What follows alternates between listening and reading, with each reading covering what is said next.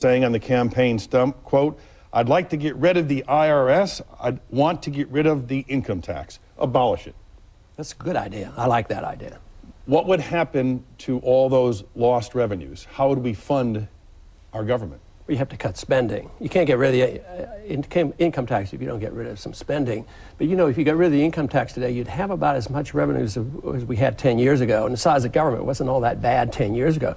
So there's sources of revenues other than the income tax. You know, you have. Uh, you have a tariff, excise taxes, user fees, uh, highway fees. So, so there's still a lot of money, but the real problem is spending. Uh, but you know, we lived a long time in this country without an income tax. Up until 1913, we but didn't if, have it. But if you eliminate the income tax, do you know how much lost revenue that would be? A lot.